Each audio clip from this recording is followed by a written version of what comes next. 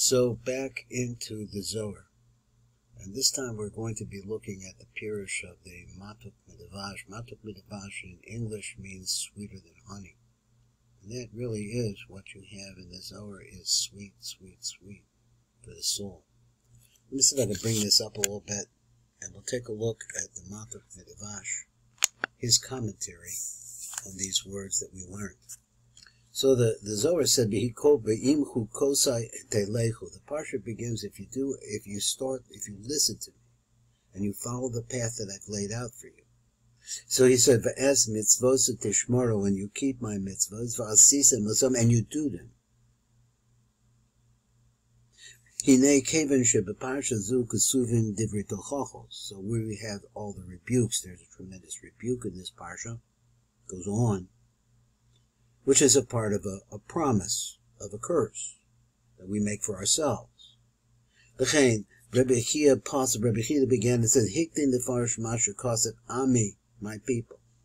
Zocher na ma yoetz bolak melech Moav, Ka'omer halo choisu the kalosacha. What was his advice? He wanted to destroy you min ha'olam ayidei shekaro as bilan the kalolacha be'ez hazom. At the time there would be a time where Abinah knew the ways of the times, and he knew there would be a time when the curse would work on you. Ma Allah also ma heshiv lo bilim ma ezam uh, lo zaman Hashem. How can I curse something that Hashem doesn't curse? He uses the word. It's an unusual word, which is the word za'am. It's a lotion of a kind of a deadly curse. He this language, heim davar to tochocho. So this is really the whole parsha here, is a rebuke. The Hikdim and Armor, they began, he said like this, Ashrei chelkam shall, am So happy is the person, the, the, per, the, the portion of my people, of the Jewish people. Ribonim mokiach kach, that they're actually the rebuke of the Shalom, who is the master of all things, whether they be blessings or whether they be curses that he is he is re- rebuking you. Hainu, he says, Afal pisha atem sarsem madarche, that even though you turned away from my path, you had this rave and all this behavior that you're doing down in the kibbutzim where the massacre took place. Even so, you're doing that. And you turned away from my, my ways. Uh, Bolam. You were worthy to be completely and totally destroyed. Hashem didn't destroy all the Jewish people. He massacred the people that were at the rave. Im kol with all of this, Ami Atem, you're still my people. You're the only people who are capable of bringing my light into this dark world.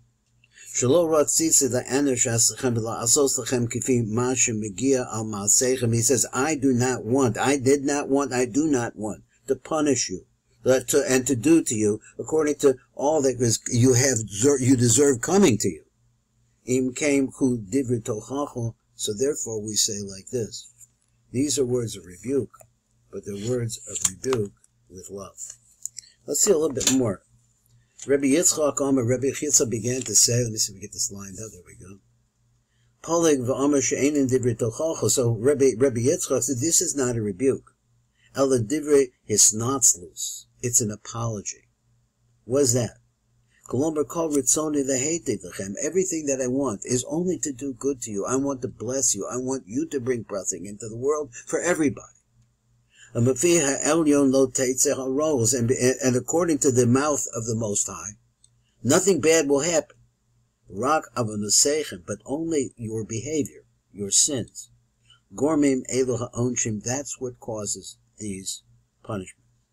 The and this is what it says, as Ashrei chelkam shal am b'nei Yisrael, happy is the portion of the Jewish people ribonim shall ribonim that their master amalachem bepasuk according he says to them person person uh, he says in this pasuk ami lecha my people what have I done to you? Zechor ma ma'od rov tova. He says it a little differently. He says ma ma'od rov tova look and see how great is all the goodness asisi lecha that I did for you And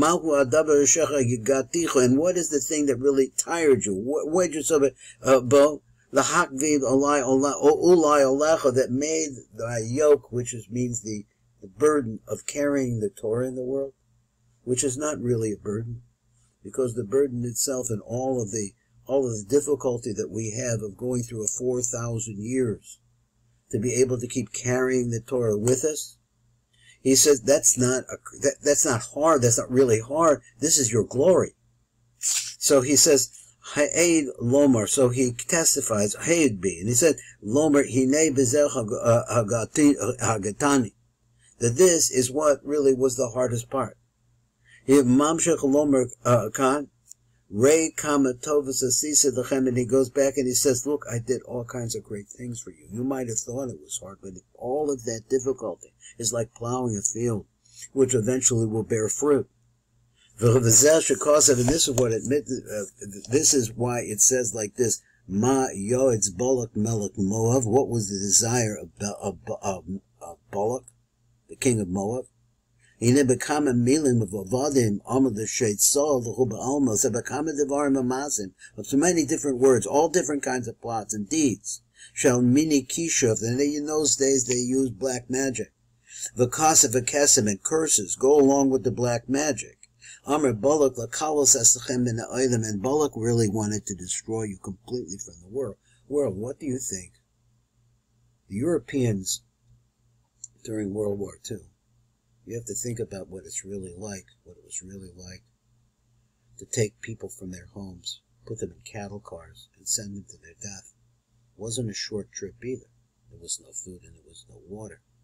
The Cattle cars were cramped and, and piled together where people were, were living in anything to get out of those cars, but they, and they finally did at Auschwitz and other places like it.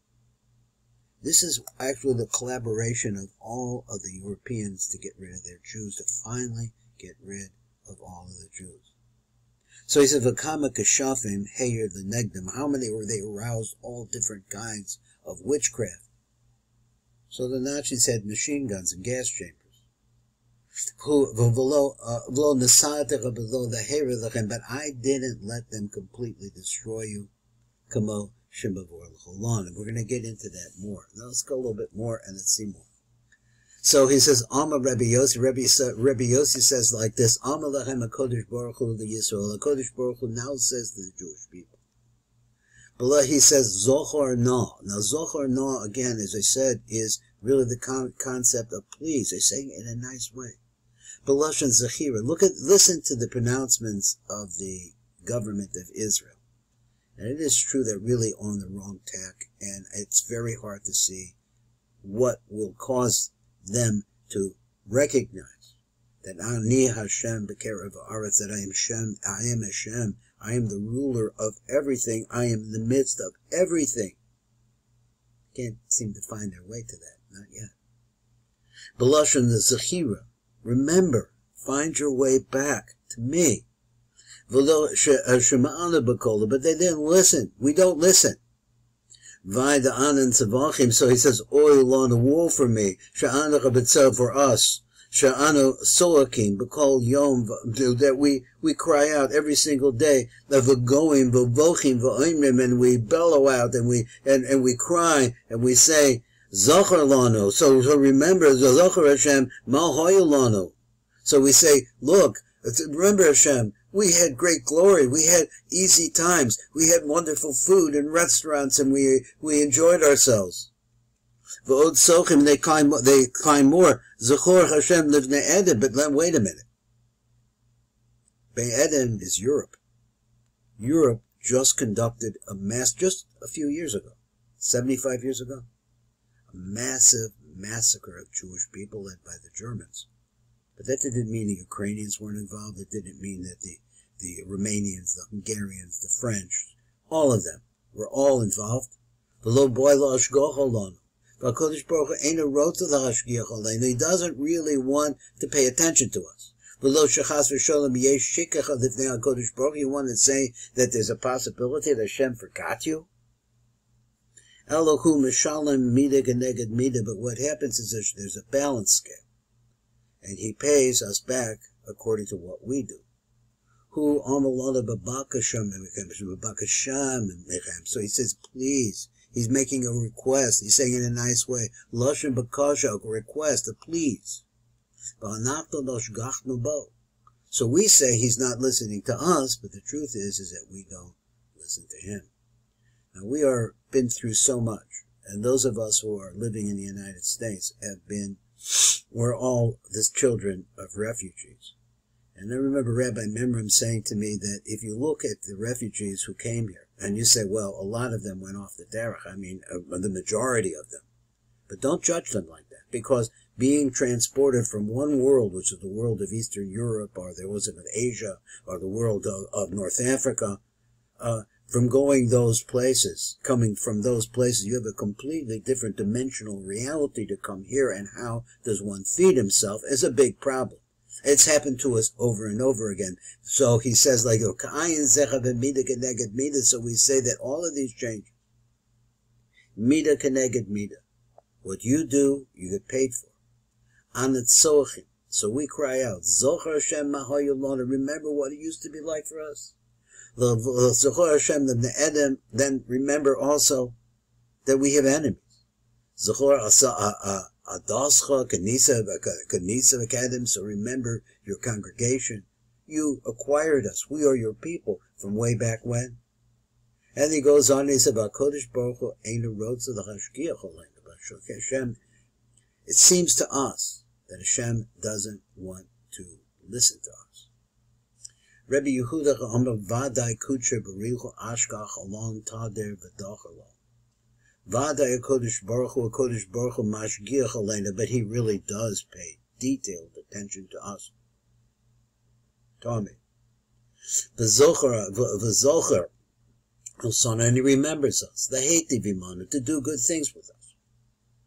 Ve'in Lomek Rabbi Yossi no, we don't say it like Rabbi Yossi, She'ena Kodesh Baruch Hu wrote Ashgiach Aleinu, that he doesn't really want to pay attention to us. It's really up to us to get his attention. Ki, he says, im lo hoyakach.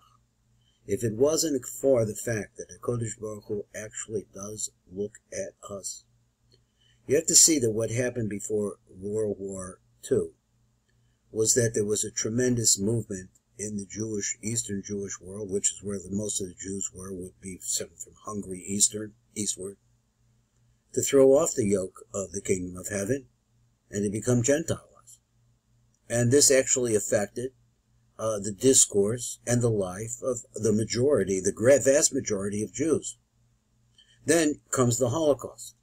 The Holocaust which kills millions kills millions of us in the worst imaginable ways, but nonetheless, we're not all gone.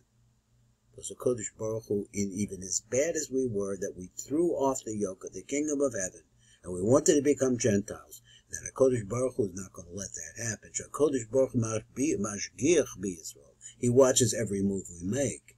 The Zohar in the Shmor Psalm, and he watches the Jewish people, remembers the Jewish people to be able to guard them. Lo Lo his kaim yom echad begalus. And in, imagine we're living in Rome. Imagine we're living in the extension of Rome.